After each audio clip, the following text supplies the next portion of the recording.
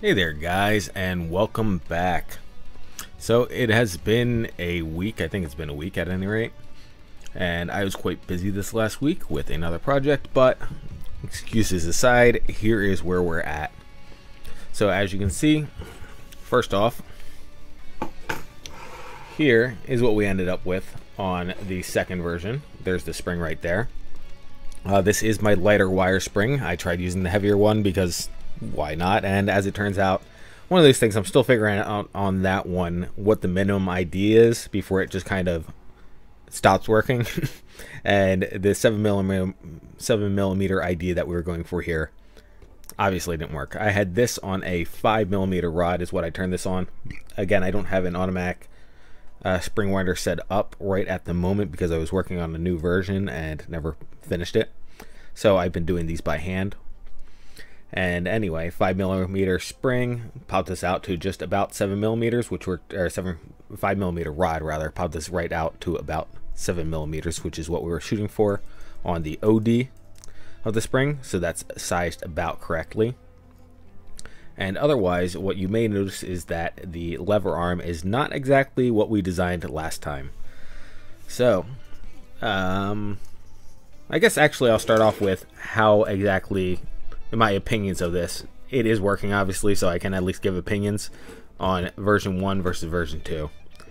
Now, I do like the spring, how the spring feels compared to the rubber band. The rubber band gets really tight really quickly uh, one of those things I don't actually think that's a matter of tensioning. We did put the tension, the option to tension it down here, but I don't actually know that I can tension this back any further because at the lowest point it's really not bad. It's just that it ramps up pretty hard towards the top, which I'm not a huge fan of. Whereas obviously this spring is a bit more linear.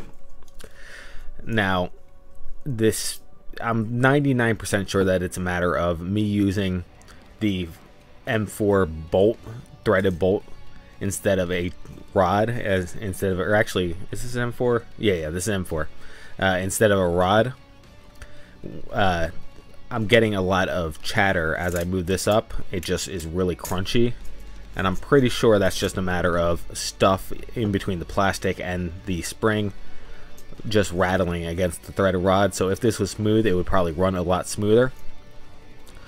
Otherwise, one very important thing I came to realize as I was doing redesigns, which we'll get to in just a second, is that as much as I disliked how this looked back here, this being the original version, it actually makes a bit of sense. And it makes a bit of sense because if you imagine this in a panel, you know, imagine I've got a panel enclosing this, then that actually is a lot of dead space that's not getting used. Whereas down here underneath, which is where we moved the micro switch to, might actually have some uses. You might actually have something mounted against the wall, an inside wall down here. So the fact that this is area inside of the box that, you know, this would in theory be contained in, that is probably not being used actually suggests that this was a better design to work at, to start off with. Again, I didn't really like it because I looked at the fact that A, we added extra material up here. As you can notice, this one is a good bit shorter than this one. So we added extra material at the top, which I didn't particularly like, which is why I wanted to change the design. And this whole entire like flagpole design where it's just kind of free floating out in space, I wasn't particularly a fan of, but frankly, it's solid enough. It's not really going anywhere, so it's not actually that but, that much of a problem. So honestly, what I may end up doing in the long run is taking the spring and redesigning this so that we have this positioning for the micro switch, but with the spring instead of the rubber band is probably what we're going to end up with. And that is my takeaway on this whole entire little experiment between two different designs on how to get this mounted. Again, this guy down here, this is space that actually could potentially be used for something else, whereas this was nothing. So this maybe was a mistake. It also, as we're about to get to, ran into a few different design problems. So let's get to those. So this was the first design, which we did on stream. Okay, here's our little lever arm, and this goes up and down, right? Now, where this is at right now, this actually worked decently well.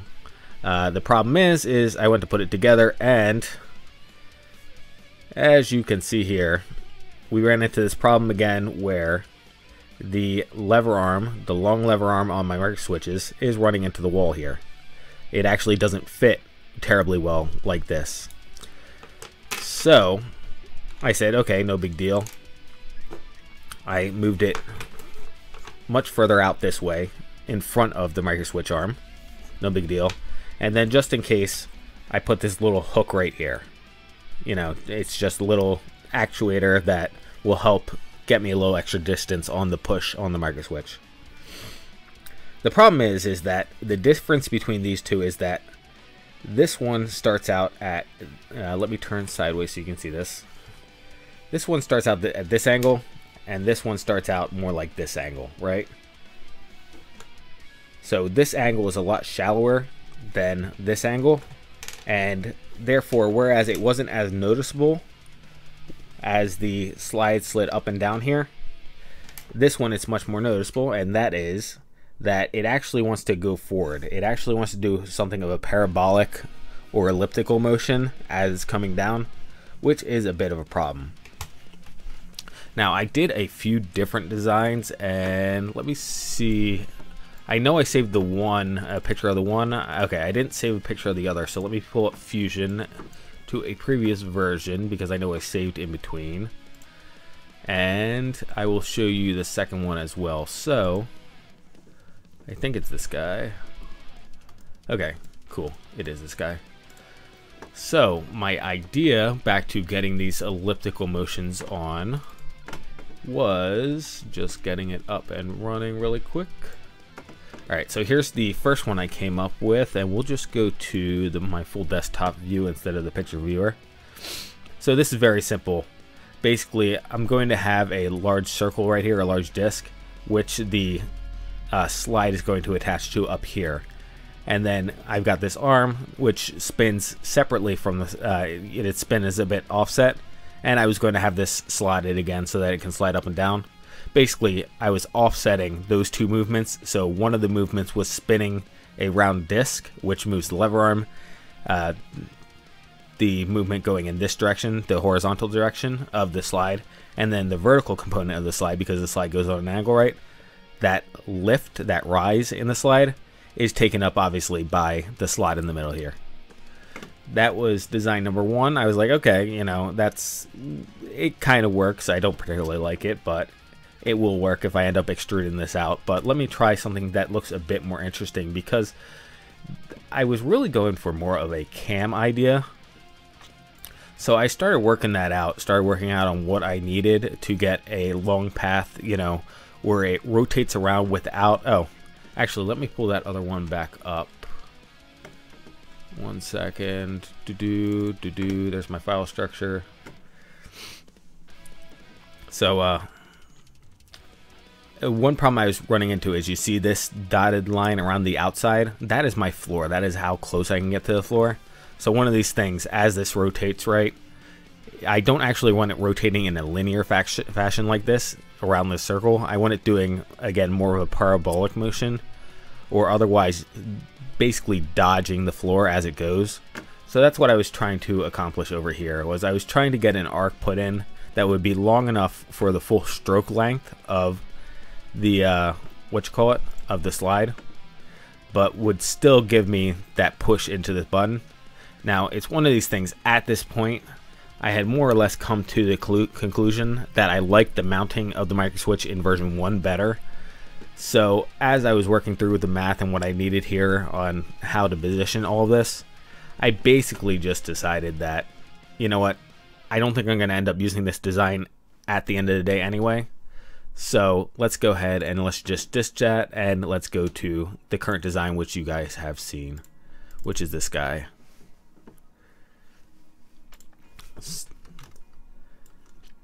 Oh, also, I added in pink as a new color because I needed another color. So now we have one more color to play with.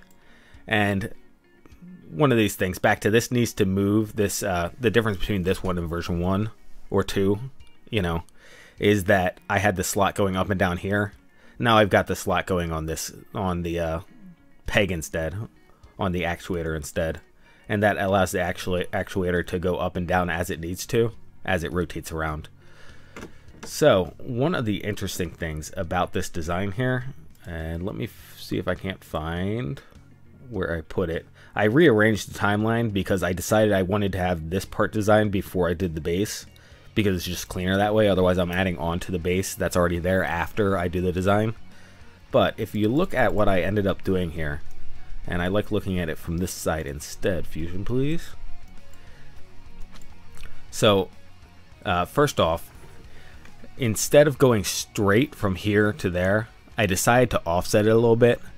Um, basically, this gives me a bit of a different angle. Uh, so let's look at this micro switch. At this point, uh, here's my center line on, whoops. Here's the, oh, there it is. There's the center line that I need to be hitting right there, that dot right there, and that little, it's hard to see, but there should be a line in here somewhere. There it is. So there is my construction line right there, which is uh, the micro switch activation point. And as you can see, the nub of the actuator, I just put directly on that line so that the actuator, it's a three millimeter actuator nub, right? It's the three three millimeter diameter on there. So if the center of it is on the default position of the micro switch, that means in theory I'm moving the micro switch back half of the diameter. So that's how I lined it up. So that's lined up right on there. And then I need that angle right there to be something positive because I need the uh, actuator to be pushing backwards. I need it to be levering backwards. I can't really have it just flat straight up and down and trust it to work. I really need it to be swinging backwards towards the micro switch to make sure that actually uh, trips the micro switch and just readjust, readjusting the microphone really quick because it was hunched over again. So I did that. Uh, that's how I got that positioned at first and why I needed to offset the pivot point forward because I needed the pivot point ahead of this right here. This circle right here is just this mounting point shifted upwards. I just put this line in the middle and then mirrored it forward for the full uh, slide length. So that ensured that I had this going backwards by offsetting the pivot point towards the front, like this.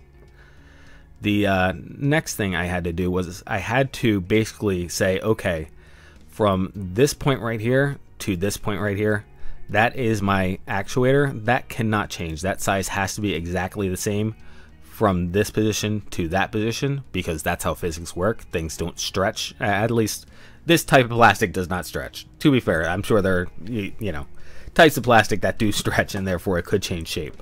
But this type of plastic is not going to stretch, right? So I had to set up that line as being identical to that line. And then from that point, I then had to figure out, okay, what does this distance right here between the nose and that need to be in order to, uh, basically in order to dodge this, uh, what you call it, and it's one of these things, there's a whole bunch of math that could go on here, but per our usual arrangement, I'm not going to do math The Fusion is just going to figure it out itself. Now, the one thing, the one and only thing that I am a bit, I would investigate further if it was actually, if this was a design I was actually going to use, is before I added in all the rest of this other stuff, just the uh, body design itself, these crosshairs, these cross sections right here, actually locked into place, which suggests that Fusion believes that there is exactly one point that this mounting hole right here in the center can be positioned in order to accommodate both of these positions on the slide, which seems incorrect to me,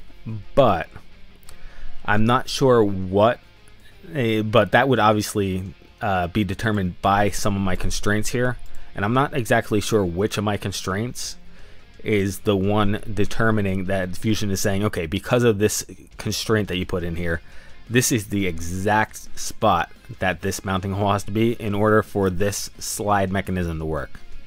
So again, that's something that I would look into if I actually thought this was going to be a successful design. But again, the other design is just so much simpler to use and it actually makes sense in terms of practicality. It's actually area inside the machine, uh, you know, the theoretical machine that would be open and available for use. So, again, one of these things. I it's not something that I'm gonna. I feel I need to spend a whole bunch of time on. I just want to point out that evidently the way I did this by setting these two lines exactly uh, equal and then getting these start and end positions, Fusion said there's only one intersect point. And also I have a couple other, again, uh, constraints in here. And it would take a bit because there's so many of them to figure out what exactly is the constraint that's causing this lockup right here. But at the end of the day, this design does in fact work. And as you've seen, actually, I don't know if I gave you a good shot of the back of it, but so we'll hop back over to the camera one last time. So there you go. It does 100% work. Uh, only, actually, this is something I did not mention. The mounting holes in the back here are obviously impossible to get to without removing the micro switch, which is a little bit of a design nightmare. Uh, not even nightmare, but obnoxiousness. I can just move them over to right here.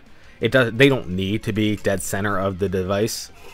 They could be off on this lip over here, so that they're actually accessible. But that was a bit annoying. Other nice thing I should also point out is that this can be adjusted out more. You can see I left the long bolt here. I actually went ahead and slid this all the way out so that the tip of this was directly on top of the micro switch. I just decided that, you know, A, it's taking up too much space on this side, and B, the uh, micro switch, uh, the rather the travel distance on this nib is not as far if it's making contact out here on the lever arm. So that's why I put it back out here towards the end of the lever arm. Actually, the third thing I should notice note is that this was not really a big deal to stack this design version 1 next to each other because as you can see it's got plenty of clearance on the sides. I did design in this extra space right here and made sure that this distance here was longer than these uh, terminals plus a little bit extra for the connectors, the quick connectors, so that these can be stacked together. However, as you will notice, this distance right here, actually we can call it this distance right here, from this edge right here to this edge over here, is a good bit larger than this. So it does not stack up, uh, you can't fit as many in on this design as this design. But again, just to you know be fair to the designs, this one is a bit taller, so you do need a taller buck to use this design. So again, there are trade-offs, but at the end of the day, this does seem to make more sense to me although I probably would redesign it to use a spring rather than the rubber band. However, that being what it is, both since both of them do work. Oh, one other thing I should note is I ran out of M5s here. So if you see me at any point here adjust the uh, screw right here in the tightness, it's because I ran out of M5s. I'm picking up more, but uh, this guy does not have an M5 in it right now, which means that this guy is actually rattling loose as I'm using it. Anyway, point being is that I don't have any reason to throw these guys out, I, either one. So I will just use them as is for the time being in the arcade stick. So yeah, that is the wrap up on what has gone down with the sliders. Honestly, again, two successful designs. I'm happy they worked out. It would have been interesting again to have more of a cam design where uh, to actuate this button, but again, completely unnecessary. This works perfectly well like this. So, um, yeah, that would be everything there. So let's hop back into Fusion and let's get started working on this throttle. The throttle input, digital throttle input that we were talking about. So, uh, my idea on this, actually, uh, one of those things, me being bad at my job, get out of my edible documents, go back to the arcade stick. Did I save it up here? Yeah, I pinned it. Cool. And component base. Should have had this set up ahead of time, but I was excited to get streaming after a week of not having an opportunity to stream. Yeah, I mean, that was pretty rough this week. It's one of these things where I was going to bed at after 12 and then waking up at 5. I was just like, uh, let this week be over. I want to get back to streaming. So, um, pity stories aside, let us go ahead and consider it's one of those things the well no i normally do try to i was going to say i can always move the component base afterwards but i do try to uh, keep the component base at origin so we will go ahead and start here And let's see. Actually, I don't want to do it this way, I don't think. I think I want to do the turn knob first. And now that I'm doing all this talking, let me go ahead and sketch out what I'm looking to do, what was in my head for how to put this together. So, grabbing the paper and figure out where my pen went. There it is. And back to camera. And grab a quick sip of coffee. Okie dokies. So, uh, on this design, what I'm thinking, this is the general shape, right? Because we're doing a sidewind throttle kind of thing, is what I was thinking. I believe that's what I decided, because this is more of a. Oh no, I did say motorcycle throttle, so we can do this. Okay, that actually, in that case, if we do this way, so I was actually between two designs. Actually, uh, this design right here, uh, I shouldn't draw it like that. Ignore that. So let me get a little bit closer to the camera. I had this design was the one design I was thinking about before we actually before I started talking to myself on stream where you kind of have this cone on this uh, half handlebar let's say and you turn the cone so around there you know around the uh, center shaft here. And the way I was looking at doing that was having this be a two-piece cone that has a, if I do a bisection of this, so imagine this is a bisection of the cone. This is the inside of the cone. I've got a through bolt right here, and then I've got these little lips which interconnect with uh, this outside shaft. I've done this before on this other project that I've been putting off and haven't gone to. You can see how I split this in half, and it is on this bottom piece like it, same exact way as this. It's got this lip running all the way around it which this then pieces onto. So I know this design I know this design works but we were saying with the uh, motorcycle input potentially um let's see. Do do do do do do. Yeah so back to as I was saying I believe in the other stream this kind of feels more like a digging motion to me than grabbing the side of this cone and tweaking it. It's just a matter of this feels more like a digital input, getting that to a point and clicking it in, whereas this feels more like an uh, analog input.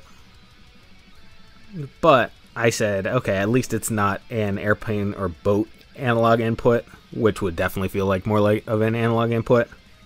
Was the design I was talking, uh, the trade-off I was talking about. So, just so that we're on the same page, here is what I want to avoid is this style of throttle from a boat or an airplane, you know, where you got the handle up here and then the pivot point down here and you go forward. I mean, that's interesting. That may end up on the arcade prototype rig eventually, but that's not what we're designing right now. Again, this design yeah, maybe instead of this cone thing, I just because the cone thing, even though it makes more sense as a digital input to me in terms of feel, uh, it's not very. It doesn't really get into the idea of digging down into the dirt, which again was we're trying to be thematic here.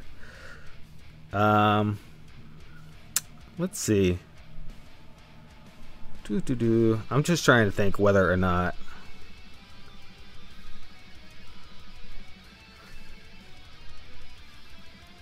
I'm actually now thinking, what I'm thinking in my head, and this is going to be a side view, but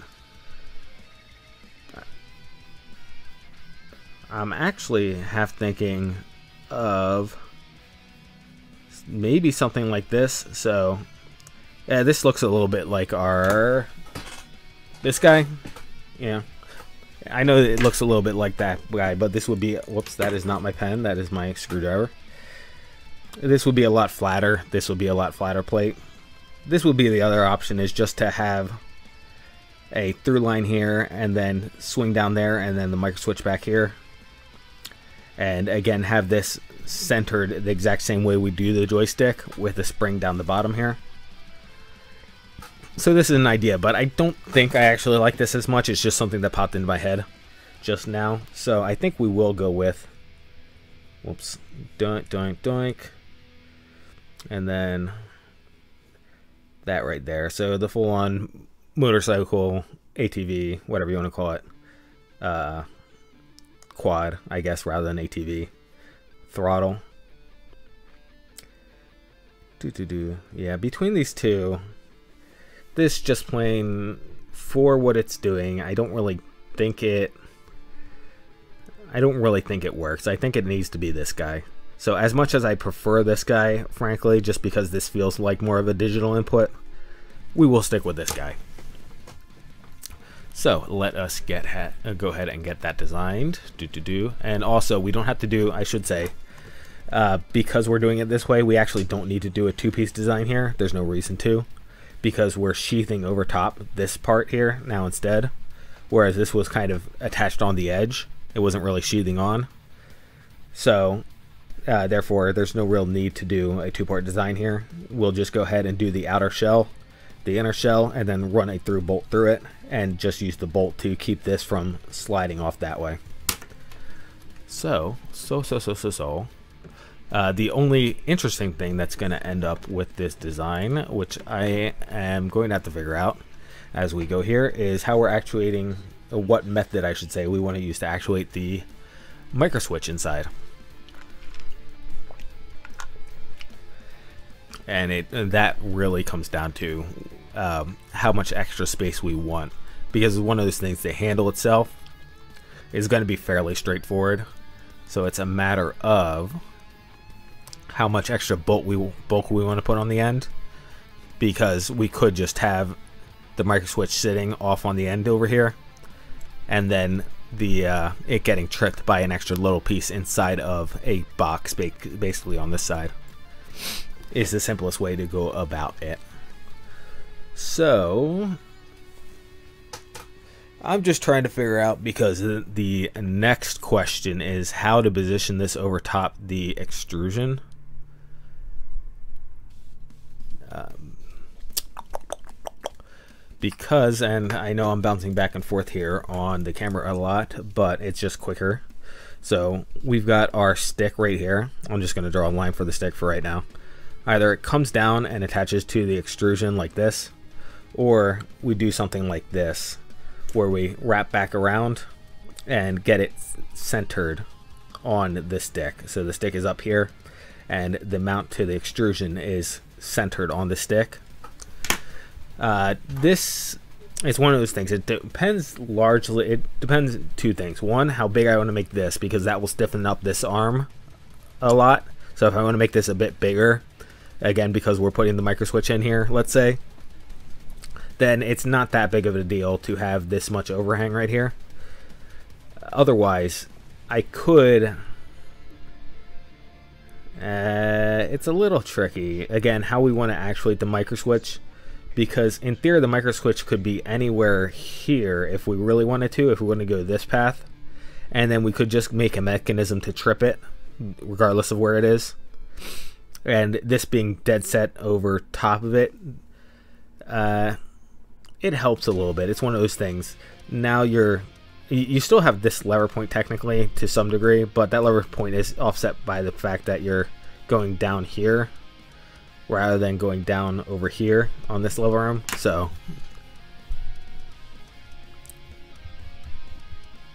Hmm, which one? Which one?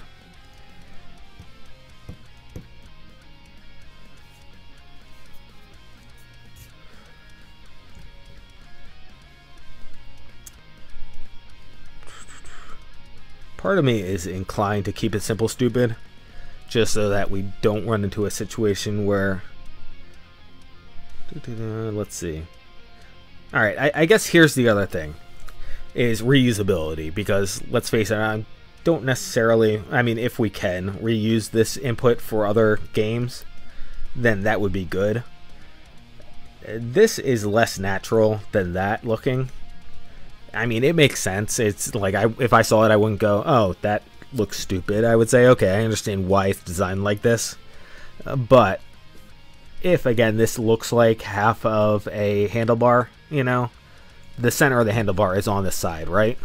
So if this looks like half of a handlebar, then we actually want it to look like half a handlebar. And the other thing that can happen is we can print another one of these and just mirror it, and we just change the orientation of the micro switch and the spring to match. And by orientation, I mean, I believe I'd have to wind that spring left hand instead of right hand. Or actually, which hand am I winding the spring in this case? So it's going this way, so that is left hand. Yeah, okay, so if, if this is an input on my left hand, which is the plan because my right hand is going to be joystick for this setup. So my right hand is going to be joystick. This hand is going to be inputs. So if this is my left hand, the spring is charging in this direction. We're charging the spring going forward, which means that that's a left hand wound spring. So this spring would be left hand wound. That, if it was on this hand, we'd be charging this way. So if we follow the, actually, mm, let me, it's one of those things, because of the camera angle, it's a little difficult to demonstrate, I think. But uh, when you got a spring, just for the record, because I don't think we've gone over this before, and it's not necessarily something you might uh, might be able to figure out on your own, which is left and which is right. But if I, uh, I was gonna just draw over our drawings, but I guess I won't make a uh, mess of our drawings for sentimental value. So here's my spring, right? Figure out handedness of a spring. You just follow the uh, tail of the spring. So this is the inside. I mean, I guess I'm a little because I drew this offset. offset this is a little uh, difficult to recognize, but normally you wouldn't see this part, right? So normally uh, let's see if I can turn this into a... Not, eh, not really. Well, I can do this, right? I can do this, and then... No, I can't. Okay, so I drew this a bit off. Normally, you wouldn't be able to see the inside of the spring. A spring, normally, if you're looking at it straight on, you can only see the very tail end, so you can only see the tail. But just find the tail, okay? And follow the tail with your thumb. So if the tail is if you're following the tail with your right hand with your thumb, then that's right-handed. If you're following the tail, and this is how a spring normally would look, as you're looking at it straight on, I'll dedent this a little bit just to uh, make a make it visually stand out.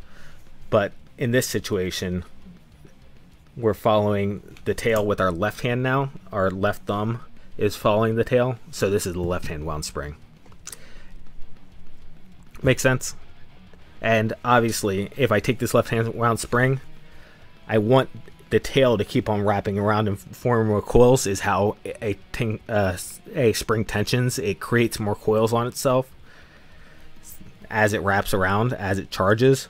So this spring has to turn in this direction. If it turned this way, it would be losing coils and it would begin unwinding itself, and that's bad. You don't want to do that. Uh, so, I mean, it's one of these things. I mean, I'm sure there are mechanisms out there that use the fact that the spring wants to spring back to its natural state the other way. Normally, you use band springs for that, uh, like clock springs, okay, which are flat bands that want to. They're flat bands that coil around like this. They're the ones that spiral in on the edge, right?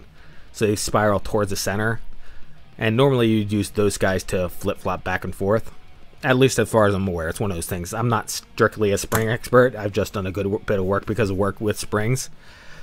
But again, not a spring expert. But normally you'd use a band spring, a uh, again a, a clock spring. I guess is the other thing you would call it for that instead. If you wanted it to flip flop back and forth between unwinding and winding. At least as far as I understand it again. Not an expert, not strictly an expert, not technically my uh, field. But point being, point being, and I just said that we're winding this way, which is a left-hand wound. Yeah. Okay, so we're to need a left-hand wound for this just to remind myself. And now we can come back here. Left hand torsion spring. And I, again, this uh, extrusion, uh, where do I want to put the center point of this? So I already said that we're doing the half handlebars instead of the wraparound to get us centered underneath the mechanism. Uh, but that doesn't necessarily tell me where the center of the drawing design is. I think I am going to keep it center of the handlebars. So I think the uh, rotary part, the handle, will stick out from the center here. So let us get to drawing. And actually, better question. Ah, you know what? All right. I will realign the mechanism later. That is going to be my solution here. So I'm going to go ahead and draw it here, and then we'll slide it uh, right or left. Yeah, we'll slide it left to accommodate the microswitch component. And let's do this. Let us grab a projection here. Ah, we don't really need a projection. Again, we're realigning this, so I'll just take origin here as my center point on my spring. Or not my spring, my uh, handle. And I think I want to do the... Whoops. Did I accidentally delete that horizontal? What I was trying to do was make this construction is what I actually want to do. Uh, let's see. All right, four dimensions.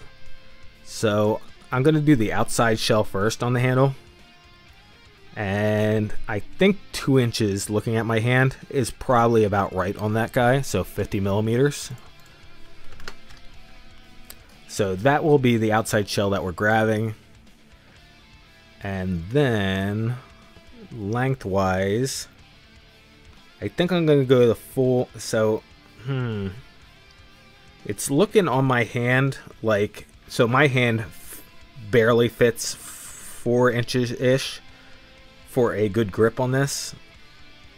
Like that would be acceptable to me, but I probably want to leave a little extra room, so we'll go the extra inch ish for 125.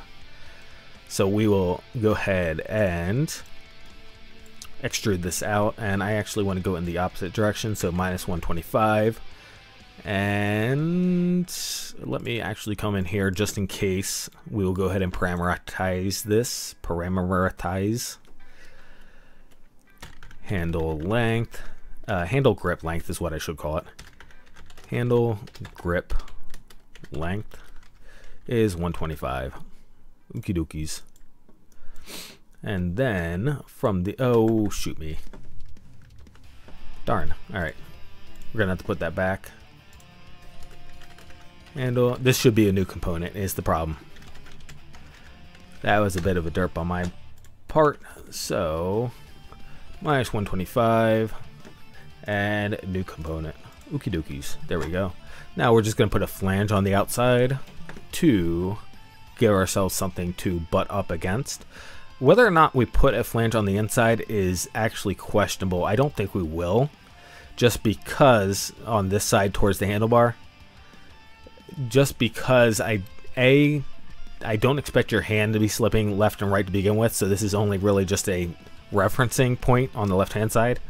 And B, uh, so my my B was that if you're stupid enough to run your fingers into the handlebars, that's on you. Was actually my B, but meh, meh, meh, yeah, that's probably just me being obnoxious. Yeah, I guess we'll go ahead and put a flange on the other side too. And for this, I'm going to go ahead and loft it just because we're going to be 3D printing this. So if I'm going 3 millimeters up, let me just do a quick little bit of math, rough math. So if this is 45 and this is 3 millimeters, then actually I don't do math on stream. So let's pull up a triangle calculator.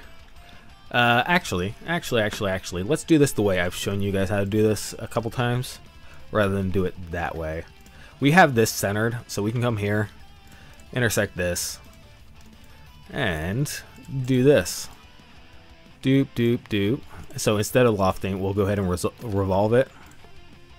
Grab the center point, go to center point on, oh, that is an intersect, so I do not have a center point on that. That makes sense. Now I do. Make that a right angle. And now I can go ahead and, actually this is not the correct angle I want. I want this guy right here, 45. Okay, you're really gonna do this to me? There we go. Please. All right. That to that, and I want this about three millimeters. There we go. And that, because this is a revolve, I actually need to, I was going to leave that as a construction line, as because it's just a reference, but because it's a revolve, I actually can only extrude half of this circle at a time because of how re revolve works. It needs to be, it needs to not intersect the axis is the problem. So, and that is how we'll do that. So now we know we have a 45 angle here. So when we print this, if we need to print this, well, basically, I'm going to be mirroring this onto the other side because I decided to put a flange on each side, which means that one of these two sides is going to be printed on the uh, floating. It's going to be printed above the uh, bed, and therefore the overhang needs to be mild enough so it doesn't look horrible. Which is why we did that. So let us go ahead and get this revolved and resolved. Our axis is going to be that guy and 360 degrees is correct. So there we go. There's that flange on that side. Uh, one of these things, I could make that a bit bigger. Three millimeters is kind of tame. It visually is probably not even going to be that noticeable. So let's maybe go up to six millimeters. That way it really stands out on the handle. And now we'll go ahead and mirror that across. Features, that guy, and actually, because we're not on center anymore, I'm used to working off center, but we no longer have center, so let's get that. And this is the X mid plane. Whoops, I accidentally clicked off. There we go. And come back here and mirror.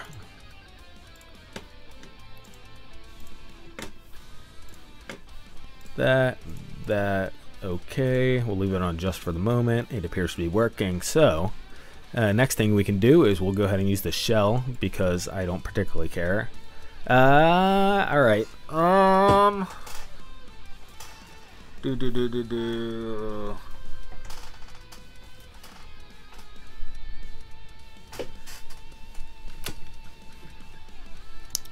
The so this is me stopping because the shell actually is going to shell the flange too, which I didn't actually want. So you can see it uh, it shells the flange as well. I didn't really want that. I'm trying to decide whether or not that's big of a problem because this is the simpler, or this is one of two simple ways of doing it. The other simple way of doing it is coming back here. Let me turn this to handle. Handle. Coming up here and coming back to our drawing and then just putting the offset in the wall thickness. Uh, do I want this a bit thicker just because we are... Nah, I, I, we don't need it a bit thicker. Eh, you know what, we will. We will, we will. Uh,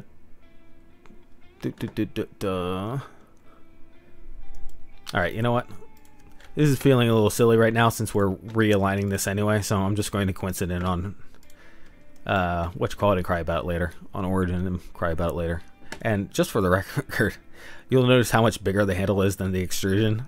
That it looks funny, but it's one of those things. I don't think it's going to be that big of a deal when we finally print it out. And we'll see what happens though. It's something to be interesting to find out.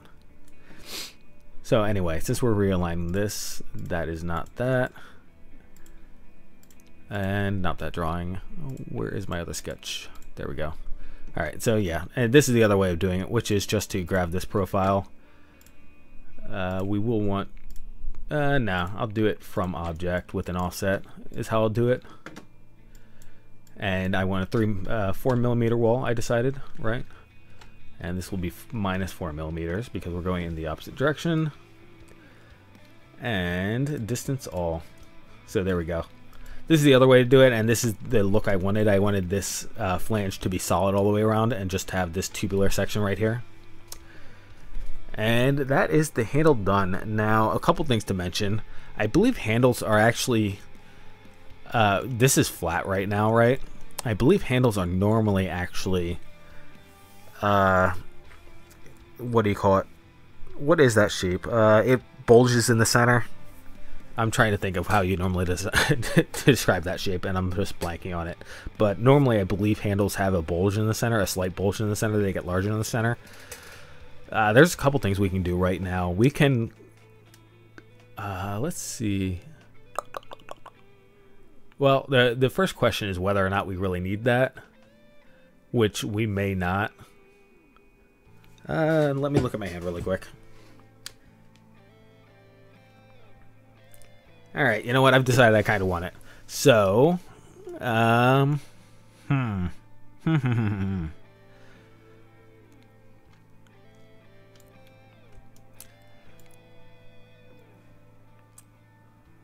All right. That's annoying. Okay. I it's annoying, but it is what it is. We are going to come back here and we're going to redesign this from uh, bah, bah, bah, So there's two ways to do this, and basically,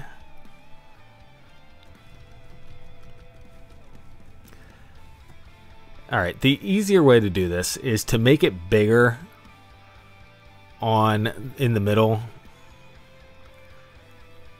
rather than smaller. That's the easier of the multiple ways to do this. That's the easiest of the multiple ways to do this. And then we're going to take the intersect and we'll do that before we do all this is what we'll do. All right.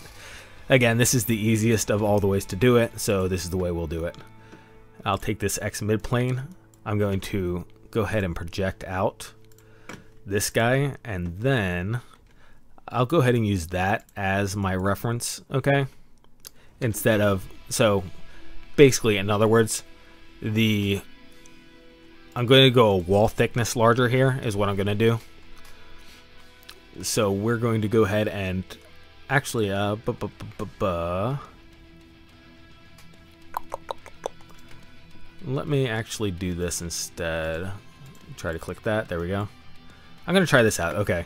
I'm going to go wall thickness larger. So that's 8 extra millimeters on the diameter, which is maybe a little bit much. That's over a quarter inch larger in the center on the diameter, but we'll see how it works out. Uh, what I'm going to do here... Oh. Whoopsies. Was not paying attention, assumed I was still inside the handle. I was not still inside the handle, so let's really quick do that again. Just takes half a second, 4 millimeters. Turn this off, body, turn that sketch off four millimeters.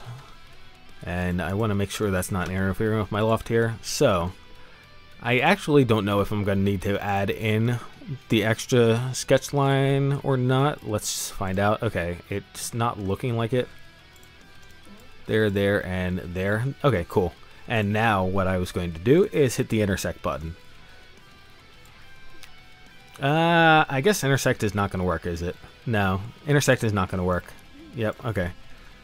Uh, that's okay though because we can just hit join. Okay, so I was thinking intersect when I was thinking of making it smaller is what I was thinking originally, and then I got silly and did not readjust my thinking when we got larger. So now we'll go to join instead.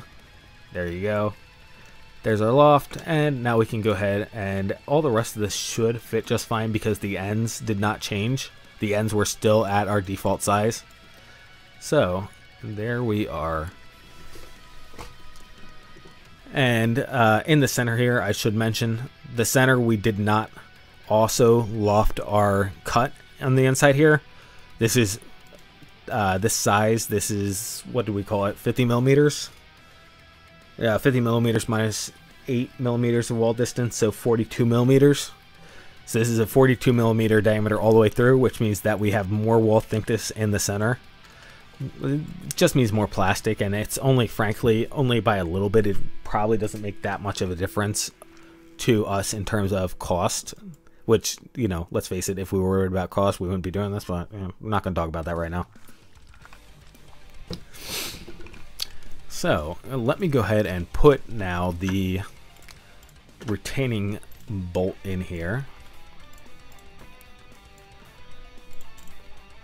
Get that in, even though we don't have anything to attach it just yet to, we can... Uh, actually, this is... Okay. Uh...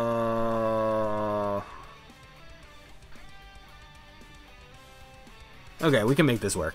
Uh, this is a little bit awkward, but... Okay, this is one of those things where we actually don't want a bolt, we want a pin. We want to pin it. Okay, how do we want to go about this? The problem with the bolt is that we're constantly rocking this back and forth, which gives it opportunity to loosen up over time. Which is not something we've worried about in a large number of our designs. We've actually done a couple designs where I've mentioned this. This one, however, I think is probably a good idea not to do that. Uh, so our options are pinning or clipping is our two options. Uh, aside from the other option, which is splitting this in half and doing like I was talking about before, and using bolts coming from the sides here to hold it together onto the thing. That's the third way. That's a groove, so that's like tongue and groove style. Is I guess the other way I would describe it. So of those methods that I just listed, unless I can think of any other methods, which one do we prefer? Um, and if I am going to pin it, what am I pinning it with? Do do do do do.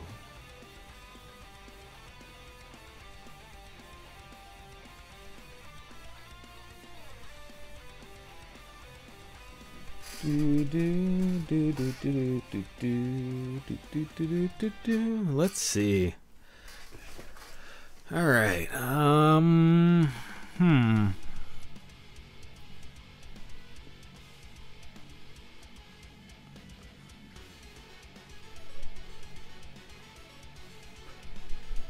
So I am hesitant. The, the easiest way, actually, I think, is to do a clip. And it doesn't necessarily need to be a traditional clip. It could be a uh, kind of socket and ball, a ball and socket style clip, which would probably be easier. The only reason I'm hesitating is because I don't really trust the plastic as much. But at the same time, I'm probably never taking this back apart I'm just concerned about uh, repetitive flexing of the joints on the clip. But again, if I'm never really going to take this apart, that's probably a silly concern. So, in that case.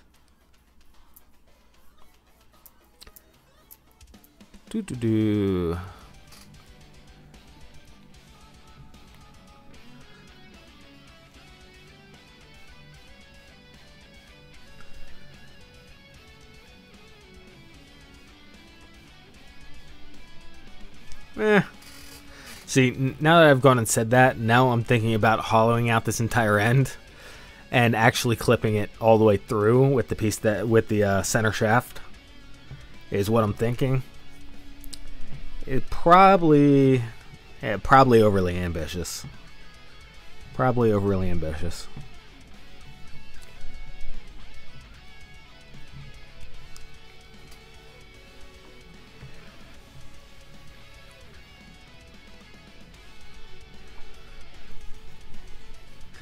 The third thing I'm thinking now, let's see, is whether or not we need the center shaft, which we do. I'm pretty sure we do. I just wanted to question myself on it just in case. Because if we got rid of the center shaft, then if I just throw a, if I just grab one of those 8 millimeters 5 16th rods that I've got sitting around and throw that all the way through, uh, that is long enough to reach all the way through. The problem with the bolt is that I don't have 125 plus millimeter bolts sitting around. Uh, well, I know. The problem with the bolt was that it unwinds. I take that back because it doesn't need to be 100. Well, all right. I guess I'm mixing up two thoughts here. My second thought was if I took a bolt and ran it all the way through to the other end and then turned the bolt into a pin. And basically just put a hole in the bolt and then ran a cotter pin through it or, you know, any kind of pinning material, a piece of spring, you know, that would be the other option. But I do think we want the center handle in here. So let me go ahead and put this on pause really quick. Let's get the rest of this designed while I decide how exactly to ruin my life here. And let us go ahead and design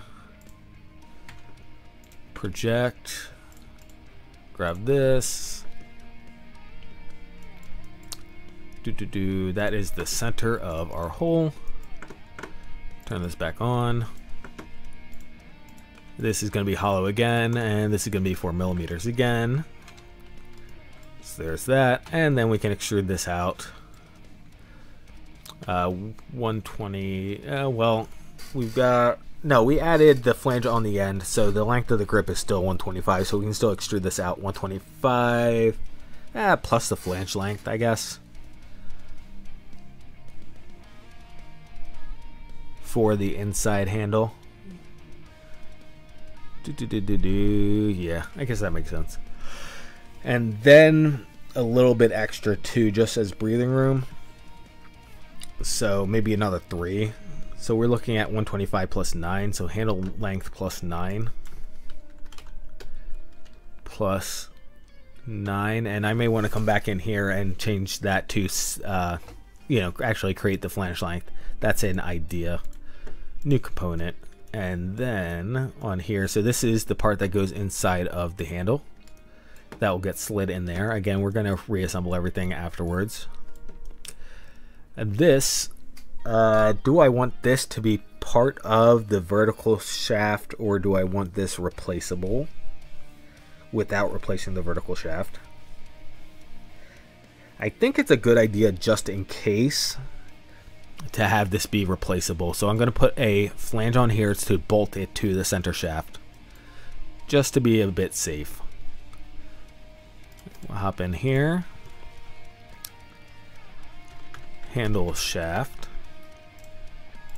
Toss this on the end here. Face of mounting flange and we'll go ahead and design that really quick. We'll just keep it as a circle to keep things uh, symmetrical, uh, similar, consistent, all sorts of words. Let's turn this stuff off so that we don't see it. And I'm to need M3 bolts. Is Seems like a good idea to me. Well, uh, we're going to be mounting to the what you call it with M4s, but nah, we'll still use M3s. So M3s, 5.45 head, 5.45, and I'm going to go ahead and draw a center line for these guys. And we'll have a reference just our origin reference and fusion did the double line thing again. Nice. Good job fusion. uh, you were supposed to connect to that. Are you now connected to that? Yes you are. Good. And then we can circle that around. So that is that. And then we just need to add in a little bit of offset some wall thickness so that we don't get too close to the edge. And we'll use that to determine the outside angle as usual, the outside edge as usual. Three millimeters is probably more than enough here, so we'll do that. And actually, I take this back. I actually should also body extrude that part too. So let's turn that into a construction line. Uh, try to turn that into a construction line. There we go. And now we'll do three millimeters. And I am doing everything because again we're going to be circular pat uh, circular patterning it. There we go. Words. There is that. And actually, uh, mm, okay. So I left myself three millimeters of breathing room, which is enough for the bolt heads. Otherwise, we might need to make this, you know, about four uh, millimeters here to give ourselves a two millimeter wall underneath the bolt head and then two millimeters for the bolt head to recess. But because we Gave ourselves 3 millimeters on the inside here. The bolt head should not be scraping against the handle. Should not, in theory. So we're fine. And in that case, this extra ring right here for the bolt head, that was my original intent was to countersink the bolt head. But at this point, that extra ring is not necessary because we'll just have the bolt head. Ah, all right, I take it back. I don't like having the bolt head ex exposed. Uh, so actually, I'm going to go five just because I want to have a bit of meat here. So there's five. And then we'll go down two for the bolt head, and then we will circular pattern that. Circular pattern, features, those two guys, and uh, let me turn off the sketch just so that I'm using the face of this instead. And I was going to go four, but I don't have a good reason why we need four, so actually I think I will keep it at three. So there we go. That can go ahead and mount now to the vertical section. And at what point do we want to figure out the spring situation? The spring situation is something I have not addressed yet. Um. Do do do do do. So, the fact of the matter is, is my plan actually was. Let me go ahead and bring this guy back up, and we'll hop up top so you can see both of them. My plan actually, I was considering putting the spring on the outside here and doing it that way uh, with the well, we gave ourselves three millimeters, so I can actually still do that. Basically, that makes my life a lot easier uh, because it's easier to get to the spring. Where we're at right now, if I don't put it on the outside of the shaft right here, if it's on the inside of the shaft, then you can imagine how that might be a little bit obnoxious for me to get the spring in here, which I'd like to avoid. It is a large spring, I gotta say that. I have not made a spring two inches in diameter yet, so that will be this will be an interesting experience if I do decide to do that. The other question is is that it's a torsion spring, it's gonna get smaller as I torsion it. So that actually makes it less ideal for the outside of the shaft because um I forget shoot, I'm blanking on how you determine the shrink rate on the torsion spring. I'd have to double check my notes. I have this written down somewhere for work. It normally doesn't come up. It's normally not an issue for us at work. I just have it written down just in case. But uh, as you torsion a spring, its ID gets smaller. Um, and I can't remember how to calculate that off the top of my head. So it's one of these things where the spring that I need might be as big as this flange, which is pretty obnoxious looking if you're looking at it on the outside. So what I'm getting at here is that it may have to go on the inside. All right, let um, there is a lot of stuff. I mean, I got this mounting thing here going on and the spring going on that I said that I'm going to ponder as we move forward. But I haven't put any thought into a mounting situation yet. So I'm kind of just kicking the can down the road. So, let us see. Get a little bit of hydration.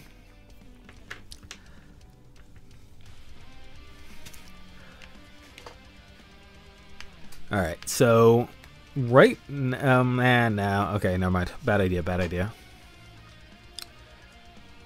Hmm.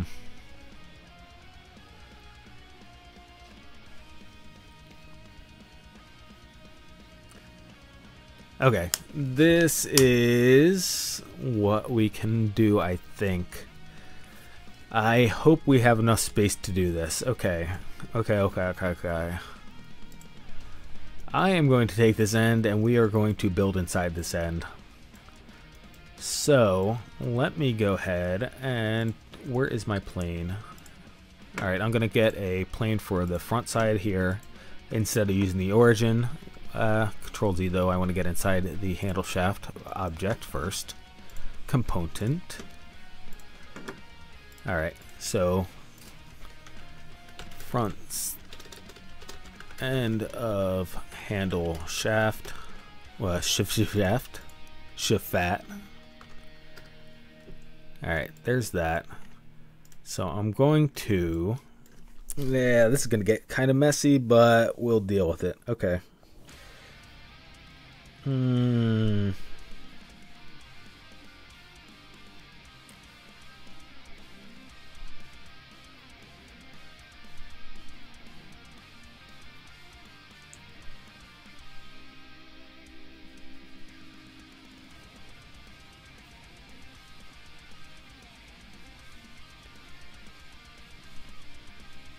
Okay, this is funny. I'm imagining how was I doing it before that I got left hand?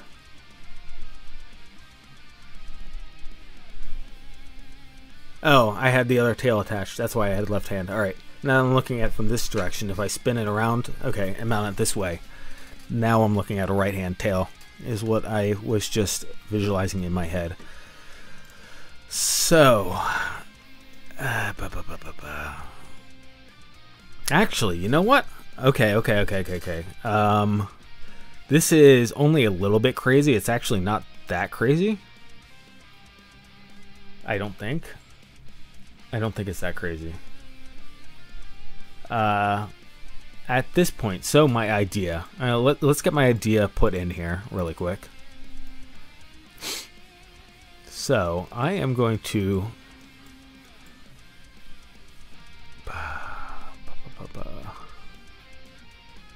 my idea was I'm trying to figure out so I was going to hollow this wall out a little bit just give myself extra room to work with. I don't know that's necessary so I'm going to go ahead and just start. Let's do this. So let me this is theoretical. This is just going to be a three, um, uh, theoretical three millimeter right here. And then let's call it a theoretical three. These may not actually come to exist but I just want them there to be referenced off of so I don't have to redesign it later. But in theory, if I had to put a bolt in here, okay. It didn't look like it was centered to me, but evidently it is. In theory, if I needed to put a bolt in there, that's where the bolt would be, and then that would make my 3 millimeter wall on the outside. So this then ends up being my shaft. Um, and I'm going to put uh, Okay. Okay, okay, okay, okay. I'm going to put the spring in here is the idea. The idea is to put the spring in here. And the idea, the bigger idea, is that the spring can retain the handle on the sleeve, on the shaft. The spring itself actually can act as an extension spring. The torsion spring can act as an extension spring. And uh, pull the handle onto the shaft is my idea. Especially because we're going to need to pre-stretch it a little bit in order to make sure that it has enough uh, space to add its turns on. So I mean just for reference uh, uh, do I got any springs around here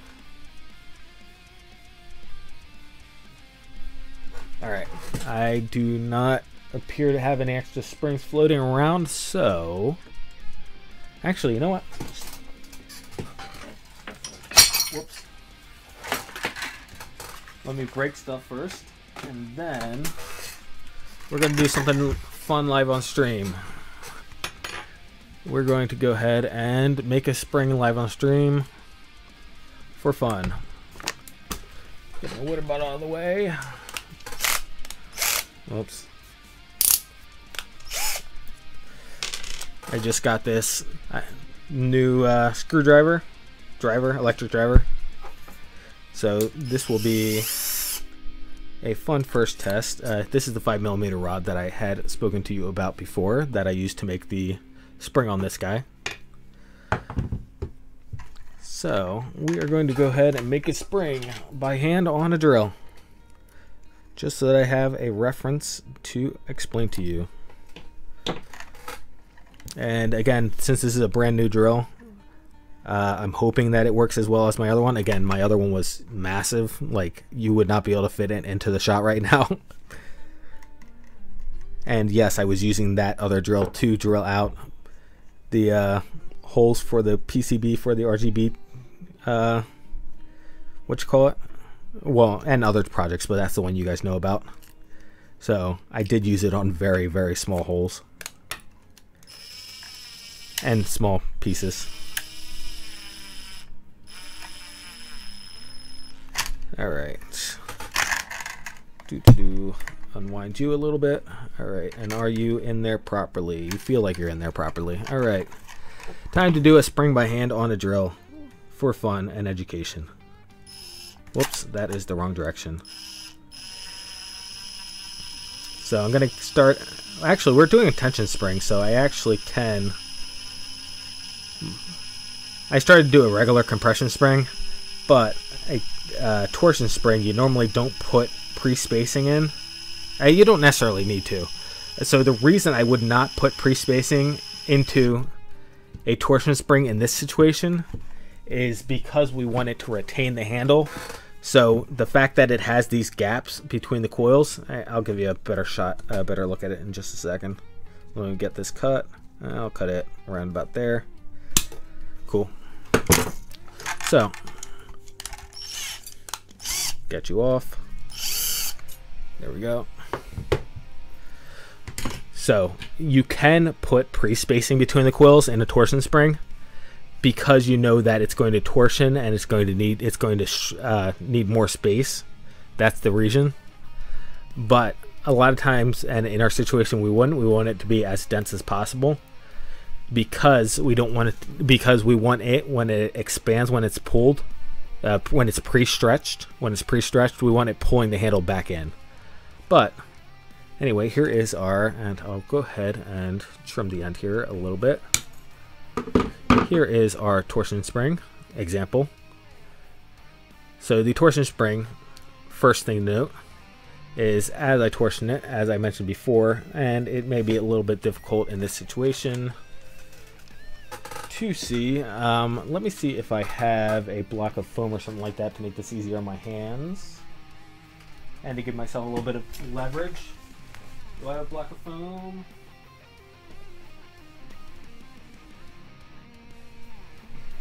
I do not. So, let me grab. Do, do, do, I got a couple random plastic pieces here that might fit. Yeah, cool.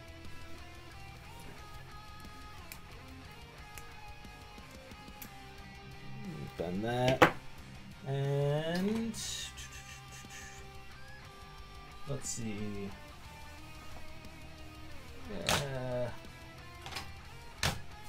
trying to find something small enough that it doesn't get in the way too much from you seeing. I guess this is the best I got right now. This is the, uh, whoops, yeah, that's fine. This is the button from the controller. So I'm just gonna really quick crimp this. All right. Let's see how well this works. And now that is, I'm gonna need to wrap you all around, aren't I?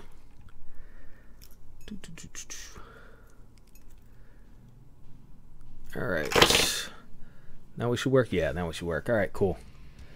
So first thing to note is, as I torsion this, you'll see that it, the ID gets smaller, which I described to you earlier. So there is a visual uh, representation. The next thing is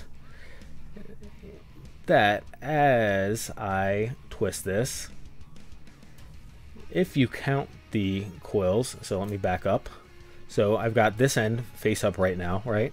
So I'm going to bring that end back face up, or actually to start off with, I ended up with, just randomly doing this, one, two, three, four, five, six, seven coils. I ended up with seven coils.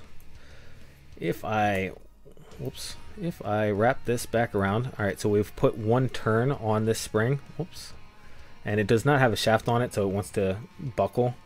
But if I count this right now, now I got four, five, six, seven, eight now. I have eight to the edge, so I put a turn on, I got an extra coil.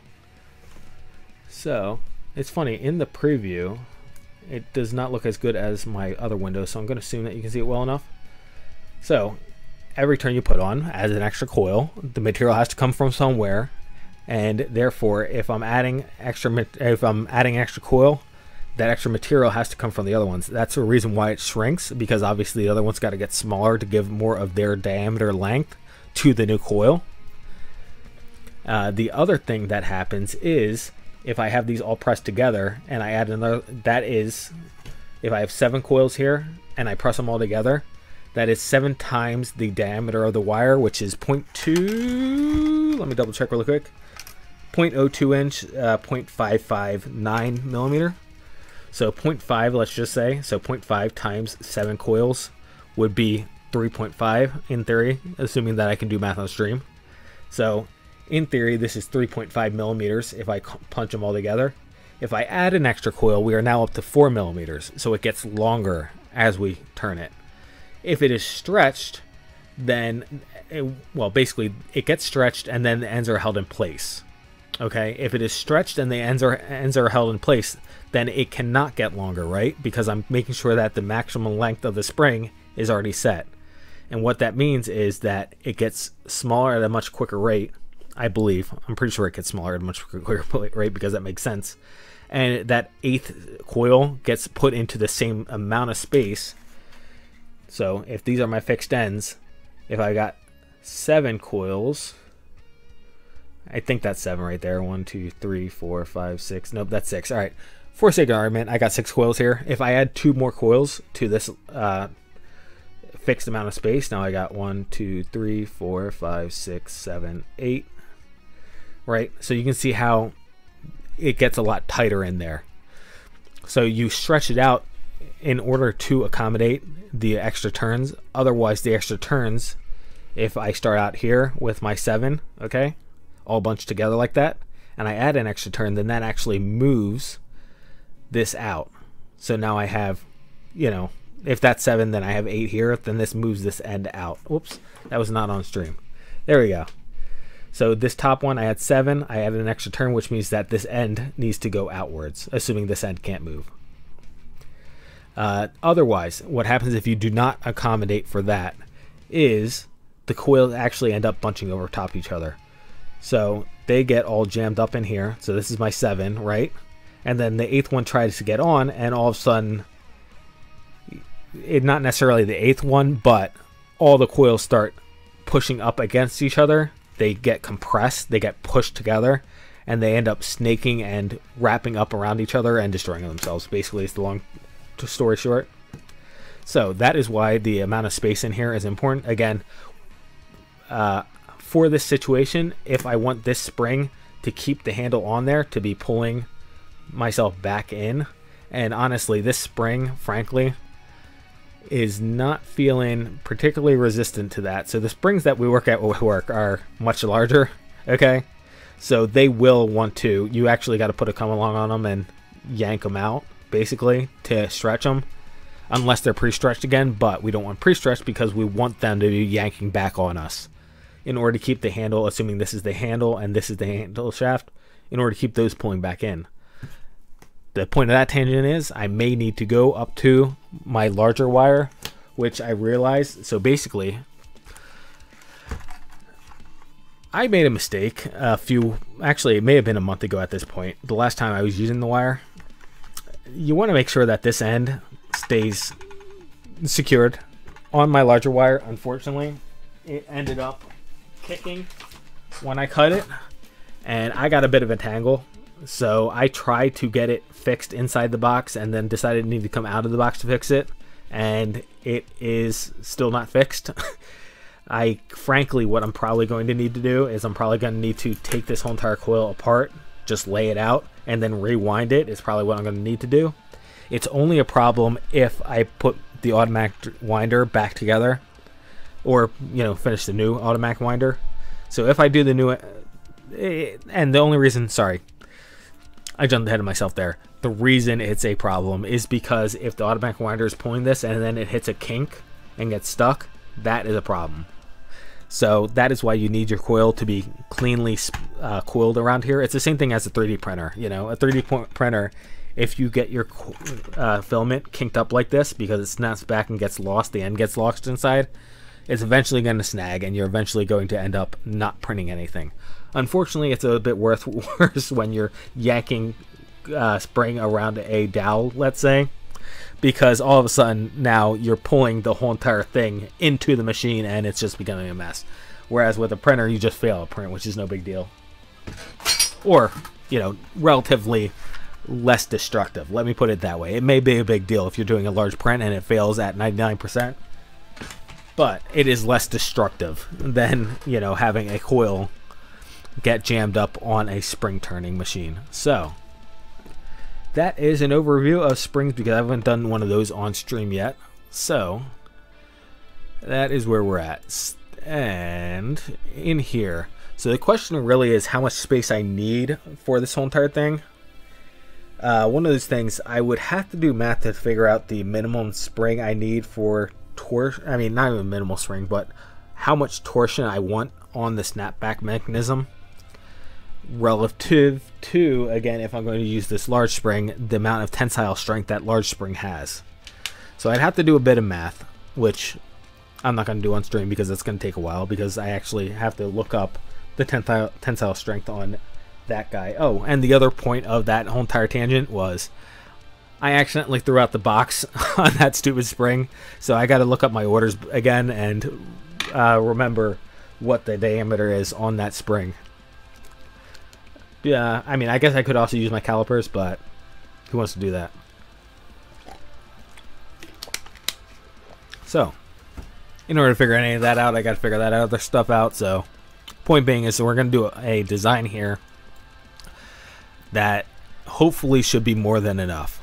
Because if I make this deep enough here, so again, this is going to be, and not again because I haven't really explained myself here. So if I give myself, let's say, because I don't need this spring particularly strong, I don't need this spring particularly strong, and therefore, let's say it's only about an inch, okay? So I take this shaft and I put a shaft in here that is about minus 25 millimeters. And then I'm going to put a wall on the backside here. So let me toss this in here.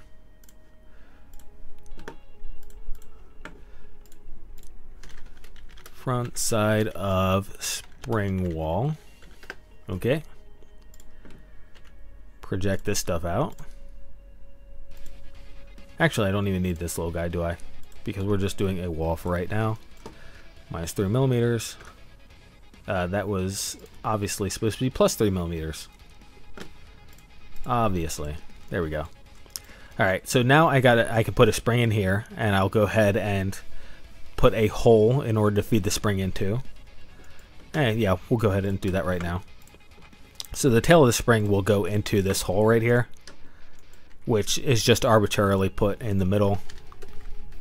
And by arbitrarily put in the middle, um, yeah, I guess I just take this all the way up to project that. Actually, actually, actually, actually, actually, that, that, and intersect that. There we go. Now it's arbitrarily in the middle. And again, I don't recall. I it might be one point. Eh, no, it's actually might be two. Eh, let me. All right. You know what? Uh, grab my phone. One second. Let's see if we can't find this.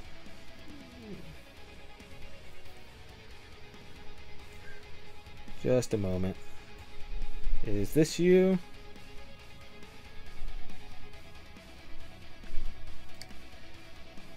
Alright, 0.037 inches would be how many millimeters? Or how many fractions of a millimeter? 0.037 and I grabbed the internet instead of a calculator. We just normally multiply that by 0.2, I mean by 25.4 obviously. But the internet says that that is 0.9398 millimeters, so about one millimeter. So I will go ahead and make this a one millimeter hole. Again, this is going to have to be, oh shoot. I was going to say this is going to have to be drilled out, but my one millimeter drill bit is going to be very, very sad about that. So we are not going to use the one millimeter drill bit. I guess we are going to use, let me look at one of the other ones. I don't want to go all the way up to 3 millimeters. 100% the 3 millimeter drill bit would fit here, but I don't want to go that much different from the uh, spring. So I am going into my bag really quick. And, alright, that looks long enough. So is this my 2 millimeter bit? Calipers. Now, one of these things I've been meaning to, so that uh, twirling, yeah, this is my 2 millimeter bit. So 2 millimeter bit is long enough. The black rotating thing that I showed you at the beginning to demonstrate the tongue and groove rotation mechanism two halves deal. Uh, that guy is actually the that project was. Do I not have a 1.5? I guess I don't have a 1.5. I guess I only have a 2. Okay. That project was uh, actually my drill bit holder. I wanted to make a fancy little drill bit holder for my metric drill bits.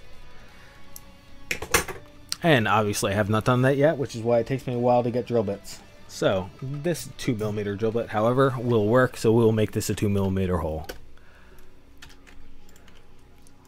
And we jump through all those hoops just to put a hole, a 2 millimeter hole in this plate right here. Distance all. Okay. Alright, so the tail of the spring will go into there, and I'll hook it back around. It's going to be a little awkward to get it in there, to get it hooked on there, but uh, I'll figure something out. Yeah, it's going to be really awkward. Uh, hopefully, because it's a less than one millimeter, uh, because it's less than one millimeter spring, and I've got a two millimeter hole here. Hopefully, I'll be able to just kind of fish hook it into that slot, into that hole. I don't want to make it a full slot or anything like that because I want to minimize the chance that it slips out. My other option is to glue it in there. Uh, one of those things, hot glue would probably be a bad idea. Getting a hot glue nozzle into there would probably be a bad idea. But I may be one of those things. I try to avoid using super glue just because it's permanent. But this may be a situation where I might want to super glue it in there. So that is that. So this one end spring goes in there, and the other spring end will go into here. So I'll go ahead and use the same exact sketch. Doink. Distance all. Flip it around. Bodies to cut. Just the handle is good. There we go. So the spring will now come out on this side and it will be sticking out. It's one of those things, it's hopefully small enough. Eh, actually, there's another thing I can do. So when I put the spring through here, so this end, this end I will be able to stretch and bend. I'll put the spring through the first end. So I'll put the spring through here first, and then I will stretch it. Uh, okay, yeah, this is going to be difficult, is it not? Okay. I guess I'm not going to, so it's going to be a little bit tricky. This is going to be a little bit of a funny circus act. So the spring is going to have a long tail on this end that sticks out probably about this long. I want it long because I'm going to feed this handle onto here and I'm going to have to get it through this hole right here. I'm going to have to get it through this hole right here. On this end, after I get it through and after I give it a little bit of pre-stretch, so I get it through, I grab it with a piece, of pliers and I pull it until the spring hits the inside of the handle. Okay, that's the plan. So I stretch it until the spring hits the inside of this handle and then I bend it. It will release a little bit, obviously, because my pliers will not be able to cl get close enough to get it perfectly bent at the edge here. However, after I have it bent, what I could, if I want to do, is grab my uh, soldering iron and actually embed it in the outside edge here. That is an idea. That's kind of like gluing it, and it does ruin the part, but it's an idea. Alternatively, I just leave it hanging loose and we don't worry about how it looks because it's on the edge and nobody's going to notice. Uh, the third alternative, uh, there's a third and fourth alternative, right? So this wall, I think this wall is only four millimeters right now. Uh, actually, if that is the case, then I am screwing up a little bit here. Where are you at? Okay, no, you, yeah, you are four millimeters. Okay, I probably should change that. So, that is this cut right here. Yeah, let's instead do this from the inside face, that face, and that will be zero offset. So now, wait, that does not look right. I wanted the, oh, I don't have the inside face. That is why. Okay, okay, okay, okay. So minus six then. All right. The point being is that I could also, back to, I have this random thing right here. I could recess this a little bit. So minus three, let's say. So I recess that. The spring will be sitting in here. And either A, you don't see it because it's, you know, hidden a bit out of view, or B, I print out a cover or put a sticker over top of the end of this and that covers it up. So that's actually probably the most reasonable way to do it and probably the way I'll go with it. So,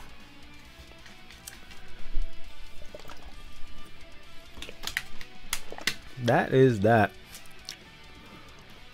That handles both our torsion issue and our holding these pieces together issue. So now we can actually go ahead and move on to the uh, what you call it, and the mount, and the not only the mount but the trigger for the micro switch. Now that is actually an interesting one. Now that I'm thinking about it, because, huh.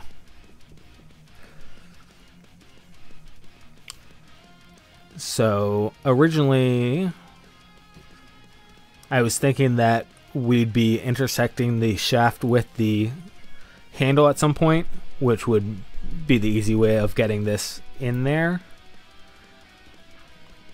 The problem is is that we're not doing that right now. So, hmm. Uh, all right, first thing first, let's grab the micro switch, bring it in here. Insert into current design. Please save. Okay, sure and this is digital throttle stick input eh digital throttle input. All right insert. All right and this is the most important thing I was curious about and it does in fact fit inside of the handle. Okay. Um, I don't want to put it all the way down the end though. I don't want to put it all the way down this end, but I'm thinking about mounting it down this end, which is a bit ambitious and probably a bad idea. All right. Um.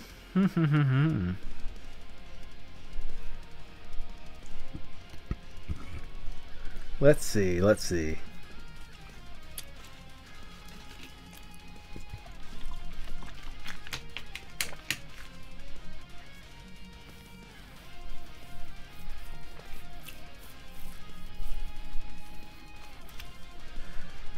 So, the things we need to resolve right here is getting uh, actually all right here's here is a way of doing it that is not as obnoxious. Okay. Uh, actually leave it right there for now. So I've got a bit of a lip here. What is my distance? 10 millimeters. Yeah full 10 millimeters so I can actually put the trigger on the end here and between two of these screws have a slot. Yeah, there we go. That is a good idea. I like that idea. Uh, that is, what is that plane? That is outside face uh, outside of end of handle. Okay. So, got here outside of start of handle, I guess, since I called the other one the end. Cool. We'll go ahead and put a peg on this end, and then we'll have that peg uh, trip the, what's called? I didn't want that though, so let's go ahead and turn the handle shaft off for right now. And just really quick, a quick sanity check for how this is printing. We can print it on this end. We'll have a little bit. We may want to go ahead and I've been getting so uh, back when I first started. Uh, support material was a really really obnoxious thing to work with. It did not remove well from prints, and it oft very often ruined parts of the print that was my experience when I first started 3D printing. I have done some support material for the past few pieces that I've been printing this past week, and it frankly has gotten a lot better. It's still not perfectly great. It doesn't leave terribly good finishes on the other side. It's not much better than just bridging it. However, it does make me a lot more comfortable because it's gotten a lot easier to remove. Doing support material for a section this large especially because again part of the consideration is that the support material is you know material you're just going to throw out it's money which is why i try to avoid it most of the time but this is only three millimeters right here right? So this is three millimeters of area right here. It's not going to be very much support material. So we'll print this face down and i probably will print this with support material just here. Anything else does not get support material. So the reason that's important is because i'm going to put a peg on this end and therefore we can't position this on the bed because it's going to have a peg sticking out this end. Now, uh, one of these things where we have, uh, let's see, 120 degree phase between our screws that mount the uh, handle shaft to the center shaft. So that is plenty of space because, again, as we have found, something like 30 degrees or even as low as 15 degrees is not unreasonable for a turning mechanism on this joystick. We found that any, you know, 30 degrees is more than enough play, so to say, and more enough. Uh, uh, I was going to say input output, but that's not the word I'm looking for. Uh, feedback. I, I mean, it's like input feedback is kind of what I'm thinking, but those kind of sound diametrically opposed. But the idea is that the, the sensation seems to be enough. It's like, okay, yeah, I did turn this when I've gotten to 30 degrees. As opposed to the point being is that back when we first started doing this, I was like, well, it's got to be like 90 degrees, right? Like a full quarter, quarter turn feels like a turn. No, it's really anywhere between 15 and 30 degrees is what I'm finding is actually feels reasonable for something that turns. Point being is that that 30 degrees fits easily within the 120 degrees. Otherwise, that's something we'd have to worry about. Is that this turn this handle turns too far and we end up running into one of the mounting bolts. And furthermore, if we had four mounting bolts, that would be uh, 90 degrees apart. And again, our 30 degrees still fits inside of the 90 degrees just fine. So we could upgrade to four mounting bolts and be just fine. Now, even though I did not project out this hole right here, I realized that I really should. Because again, if anything needs to change, I want to start this as close to that. Uh, I want to put this, uh, what you call it, this shaft, this peg, rather, this peg as close to that mounting hole as possible is the idea here because that gives me the most amount of play here. And again, anybody using the machine will not be able to tell the difference between a peg being right here, a peg being right here, or the peg starting right here, ending right here. You know, they really won't be able to tell where the peg's at.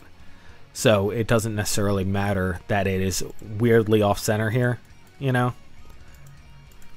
So even though this is like seven degrees, let's say off center, eh, they really shouldn't be able to tell. So Uh, meanwhile, for the peg width, we have 10 millimeters work with. I kind of want this to be kind of chunky so that it doesn't break. So let's go with 6 millimeters.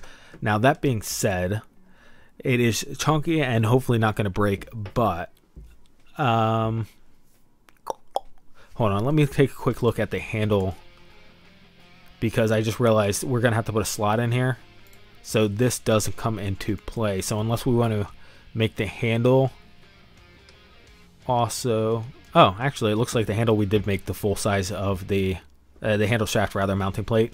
Looks like it is the full size of the flange here. Okay, never mind. Don't have to worry about it. So, um... Bah, bah, bah, yeah, I guess we don't really have much to worry about. Ignore what I was saying. So, 6 millimeters. Hmm... I was going to say I want at least... Yeah, okay, I can make this 3 millimeters here. It's one of those things where it's a... Eh, Alright, I guess I'll make it 2 millimeters. I was going to say, we're not going to... One of those things. This peg, it should be a little far from this edge, just because we don't want to leave some meat for the slot around here, right? It's not actually 100% necessary to have the slot conform to the peg. Honestly, it could just be a full cutout around here. Which, you know what? Actually, yeah. We're going to go ahead and do that. We're going to just cut the area out. And what I wanted this 2 millimeter space for, however, was... Uh, let me drag this out just so that it does not snap to the wrong edge. I wanted this as an offset from the bolt, was the whole entire point. So there is that. We have some offset from the bolt, so the bolt has some meat around it. And actually, I just realized I should grab that instead. I should grab the head because we countersunk these instead and do that. So let me delete that tangent and retangent that. Please get to be construction line. Thank you. So there is that. Uh, this, so our thickness here is, because we want it going definitely more than this. Actually, actually, actually, actually, let's back up just a step and get these guys put together because we uh, are ready. We have everything else set, so we can go ahead and align them. Uh, align, align, thank you. Handle. And this will be going right against the inside of the handle face over here. There we go. And hit OK and turn the other one back on. And there we go. So again, we got the 3 millimeter space in here, and the reason I did this is because at this point, whoops, Control Z, uh, Control Z please, thank you. Capture position, there we go. At this point, I'd sooner just extrude this out to make sure that it gets at least this far, just in case something changes, and then plus, let's say another 8 millimeters on top of that. So uh, I am extruding on the wrong object though, so let me hop back up to handle. There we go. Distance to object. And like I said, we'll start at 8 millimeters and we'll see if we have to change that. Actually, if the inside wall is, let's say, 4 millimeters, right? We probably do. So this is going to go into the center uh, handlebar area right here. It's going to go into the center handlebar area, which means that we need to get past the wall, the inside wall of the handlebar area, point being. So that's at least 4 millimeters, so we probably want to go something more like 12, just to make sure that we're hitting the micro switch, which is going to be mounted sideways, is my plan in here. And actually, I said that, but this is a little bit awkward, is it not? So let us back up even further. Uh, which one moved when I... Let's see. When I did this movement, which one of you two moved? Okay, that moved. So I do want to do this beforehand. I want to do the center shaft here beforehand. I'm going to keep the center, I'm thinking I'm going to keep the center shaft relatively square. just because we may want to mount to the other side, like I said. Uh, so the options are back to if we want to make this a two handlebar design, we can either print two copies of this, or we can make the center shaft big enough right now to mount stuff to the other side afterwards. And the fact of the matter is, is that it could be stuff. It literally could be not necessarily another one of these handles, but in theory, we could mount other like buttons or whatnot to the other side. It's just one of these matters of modifying it by hand rather than having pre-designed mounting spaces because frankly I don't know what exactly I'm going to need.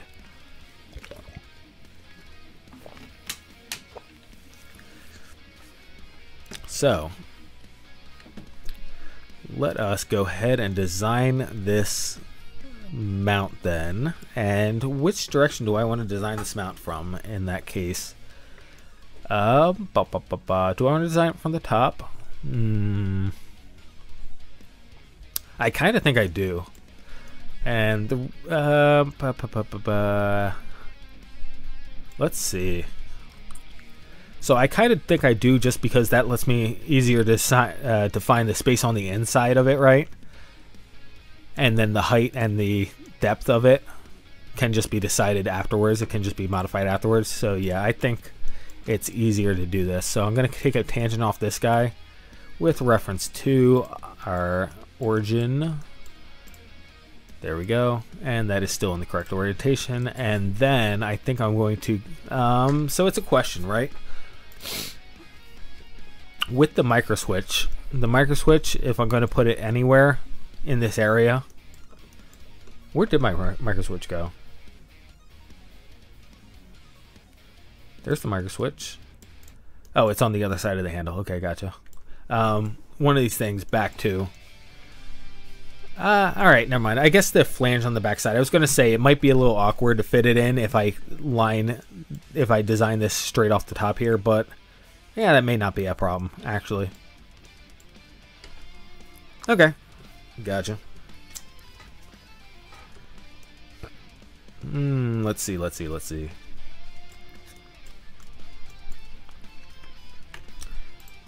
Yeah, alright, alright, I'm feeling comfortable with this.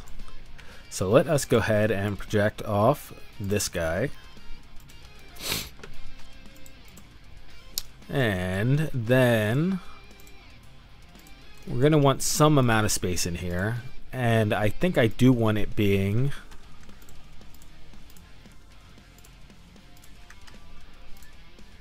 the same size as that. I don't think I want it that much bigger. Uh, let me take a quick look at the micro switch. Do do do do do. Uh, close this bar. I always leave this bar open. Where'd the... Oh, I inserted it in here. Whoopsies. That was a mistake. Okay. Ah, maybe we just delete this out. Alright, finish sketch first and then delete out. There we go. And let's bring that back to... I'll do that before I start the sketch.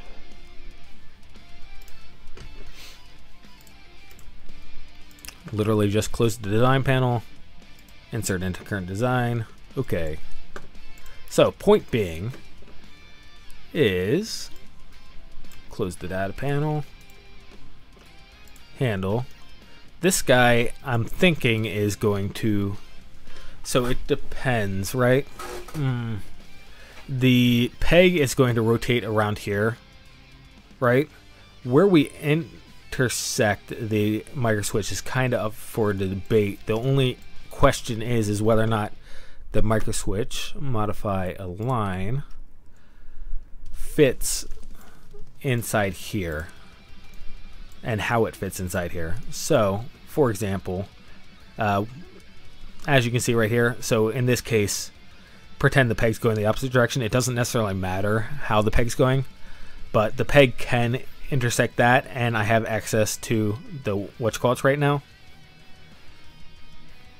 Uh, access to the terminals with the wires running down. So that is actually probably the most ideal way to set it up. The problem is, is that we're rotating this way. We're rotating towards the front. And since we're rotating towards the front, that then means that we actually want to flop this around try to grab the correct one. Please, fusion. There we go. Flippity floppity. Nope, not flippity floppity.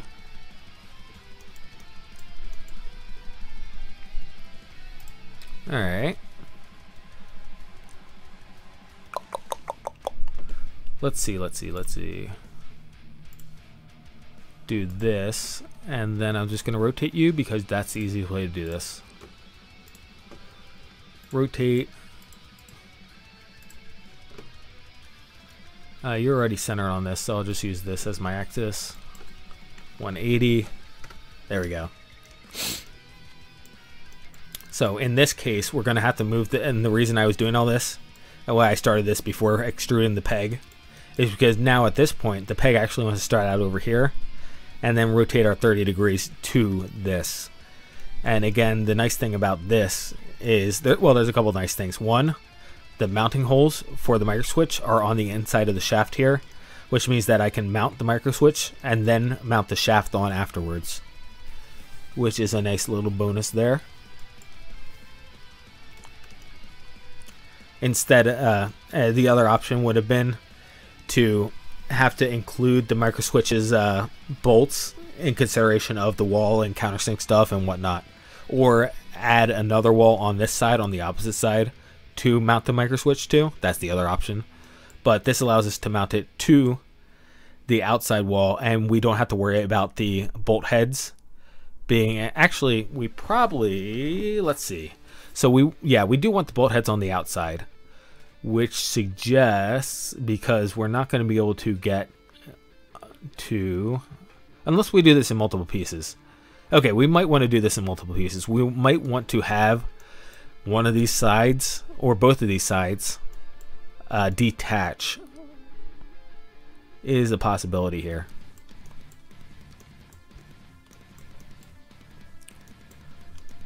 And in that case, if that's how I want it, Nah, I'm to want to countersink the bolts anyway. Okay. That's where we're at. Okay. So the micro switch fits fully within this center shaft right here, the center handlebars as I've been calling it. In which case I don't have to worry about the design of those center handlebars right now. So let us come here and I am going to go ahead and define the wall thickness right now. Uh, bu -bu -bu. okay, so actually, I take that back. I'm going, again, I think it makes most sense for these walls, it, at least easiest, it, it is easiest, I should say, for these walls to be detachable, which means that I need to accommodate the bolt heads to attach them, which is about 2 millimeters, plus a wall thickness, and somehow I ended up with two lines again. Thank you, Fusion. All right, so two millimeters plus a wall thickness, which let's say three millimeters because we're already getting pretty thick. So that's going to end up being five millimeters right here. And do do do do do.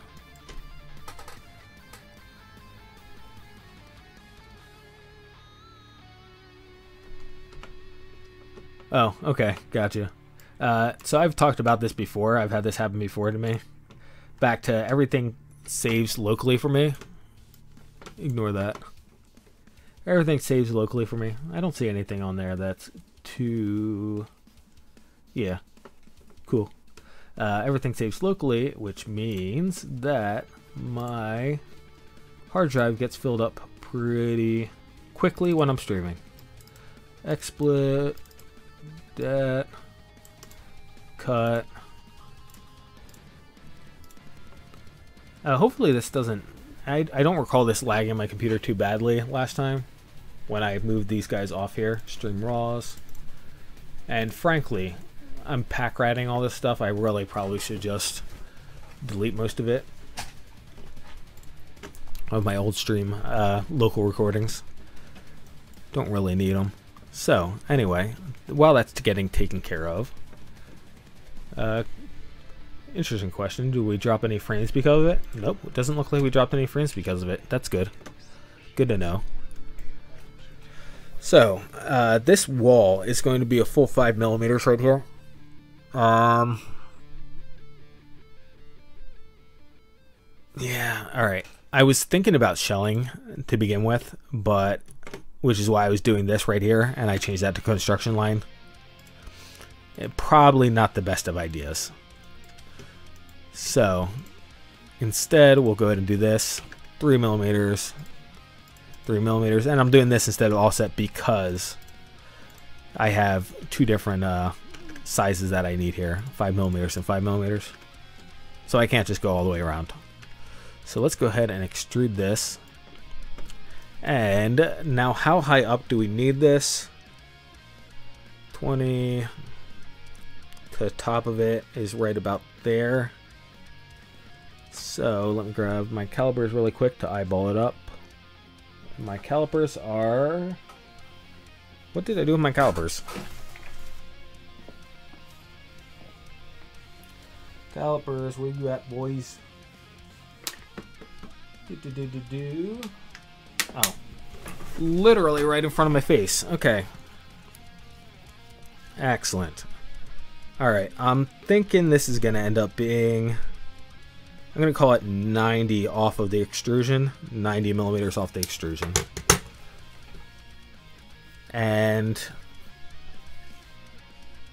Do I want... Yeah, I think I'm going to go ahead and extrude this straight down to extrusion. And unlike the other, a lot of the other things I've had sitting off the extrusion, uh, actually, mm hmm. So the other, all right, let's make this because the joystick, the joystick, I went ahead and put between two extrusions, right? And that's another one of these full-handed inputs, just like what we're working with right now. So, let me go ahead and actually just make this uh, whatever the micro switch is plus let's say an extra inch so it ends up being like 75 so I'll call it 80 instead of 90 uh, frankly, even that is maybe a little bit too high, but I'll worry about that later. My biggest problem is that, again, if I'm going to do a platform of this, I need some room to do the platform. But, you know, maybe one of these things I may be overthinking things. Uh, the next thing is I did not define what I needed on the inside here. The micro switch is only about 10 millimeters, about round numbers, 10 millimeters. And the question is, how much extra space do I want in here to play with stuff on the inside? And furthermore, what actually looks acceptable, just visually speaking. So I think I'm going to go with 75, even though that's going to leave a lot of dead space for the micro switch. The micro switch is only going to take up, you know, a seventh of it, you know, yeah, one 7.5 of it, I guess. Uh, so it's a lot of dead space, but at the same time, if I'm looking at this right now, so let me just hit the finish sketch. Right, that does not look unreasonable. I don't think that looks unreasonable right there. Uh, and furthermore, if you're going to grab this with two hands, so let me just, with my calipers, get myself set up for, I said that was 75, right? Yeah, 75. So calipers two hands on 75. There's 75 right there. Yeah, that's reasonable distance, I think, if I'm going to have both hands on it. A reasonable space distance between the two. So that is where we're going to put that. And the next thing I actually wanted to do... So this gets a little bit sketchy a little bit sketchy. Because I want to put the wall in here, but I also actually wanted to round this off.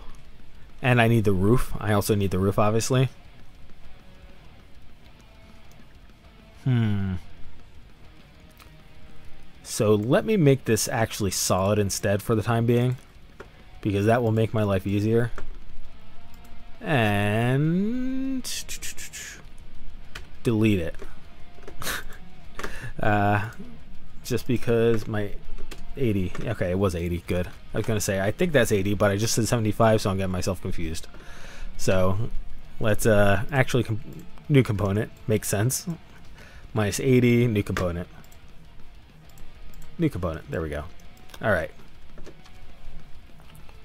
So on this new component, I want to trace out uh, outside left side.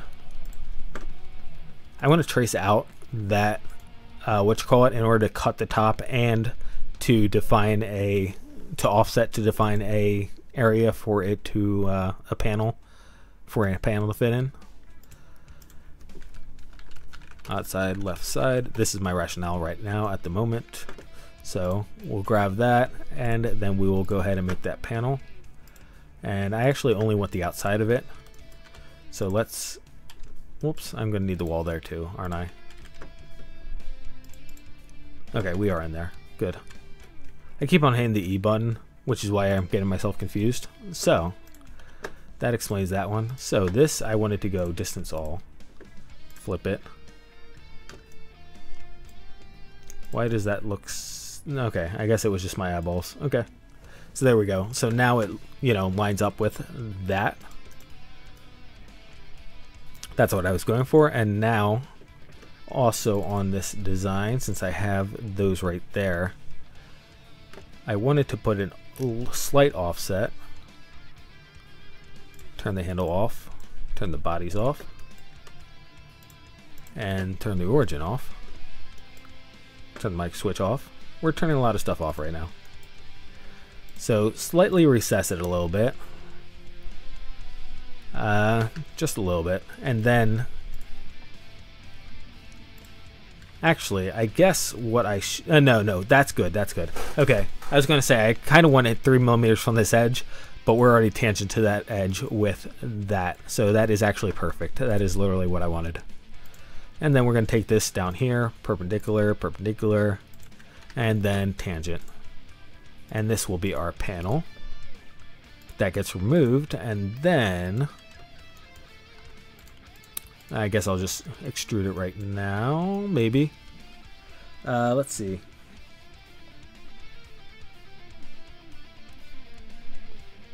Ah, shoot. Yeah. All right. I uh, this popped in my head at, at one point when I was doing the sizes, but it's going to.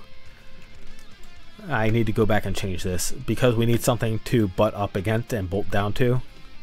So uh, we come back to this sketch. And this actually needs to be uh, I'm only going to add an extra 2 millimeters and this really should just reference that. I'll do the same thing over here to keep things symmetrical. So the point being is that this hole is good the hole size is going to be different from the outside size. That way it's sitting up against it. That way it doesn't fall through and we can actually bolt to it so, this is the sketch I wanted, not that guy. And this is a new component right now. This is the panel. And this panel is going to be minus 5. So the panel is going to be minus 5. I'm going to delete out of the other guy, out of the body, that panel. Uh, we could obviously combine, but yeah, yeah, you know what? I'm just going to combine really quick. That's good. It's fine. Well, that's not combined. That is. So that body, that body. Cut, keep tools. This is fine. And then I want to come back over here, grab this and we want to make that lip that I was talking about. So I'm going to go ahead and project the cutout, turn off that wall. So there's our cutout and then I want to have that lift lip offset as well. Do do do, and I'll only do two because it's not really that big of a deal.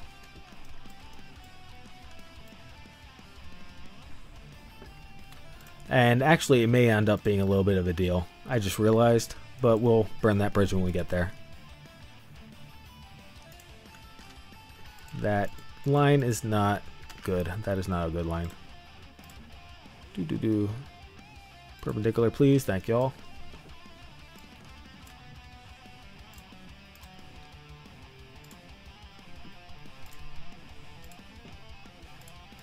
Do, do, do, do, do, do, do, do. Alright. And make sure that I... Where are these other sketches coming from?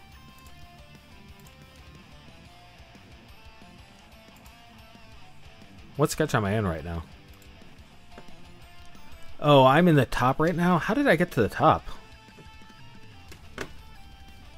Oh my goodness. I can't believe... Alright, alright, alright, alright, alright. Control Z. Nothing happened. Control Y. Is that component still out here? No, that component's not out here. Alright, cool. Alright, so... Center shaft. Okay. Try again. Take three. Alright. Somebody obviously needs lunch. Alright. Minus 5 for the component. Combine the component. Oops, Control Z because that was not keep tools. Keep tools, alright. Outside wall. And now we come back in here and get that.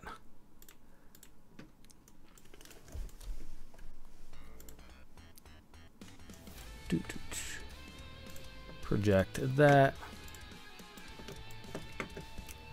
Turn the component off. Turn the other sketch off. Do that. Much better much better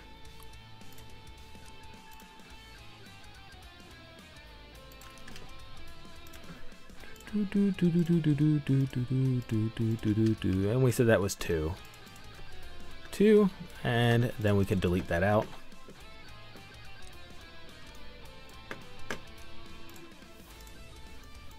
Uh, actually, I'm not going to delete that just yet. I take it back. I take that back. We will not delete that just yet because we haven't mirrored anything yet. And I don't want to delete it until... Actually, I guess I can delete it it just gets a little awkward. Fusion might just complain is all I'm thinking about, so... But chances are it will be fine. Alright, so there's that. Whoops. There we go. And now, on this guy... Oh, I should have... Okay. I take it back. Uh, no, actually, this is fine. This is fine. This is fine. Okay. In here. Uh.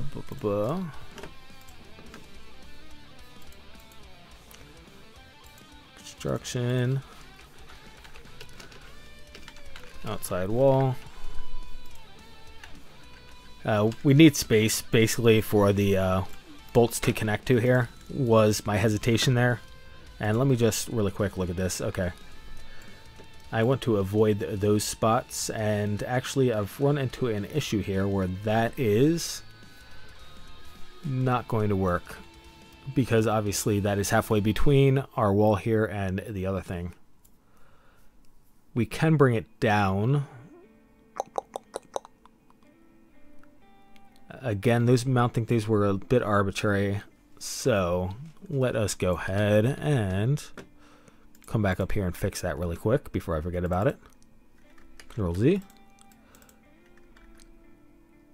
Uh, Control Y.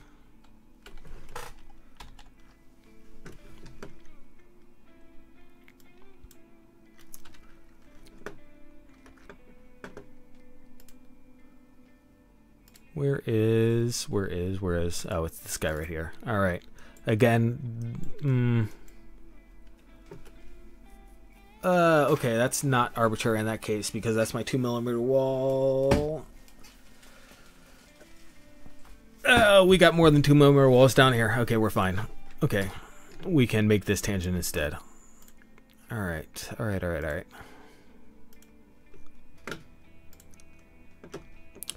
So there is that. That brings that down. Now let's look at this guy to see whether or not that... Oh, everything shifted down. Right. Everything shifted down.